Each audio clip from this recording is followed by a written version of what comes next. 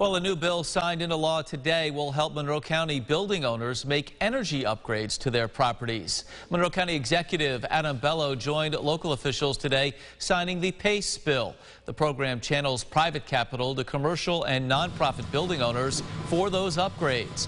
Officials say it will allow for improvements of properties lower operating expenses there and create a positive impact on the community. Monroe County's PACE bill is designed for commercial buildings, not residential. Planet. This kind of financing is needed now more than ever for these types of projects due to the challenges that COVID-19 and the impact that it's had on the industries across our community. Well, the bill passed unanimously in the Monroe County Legislature. That vote 27 to 0.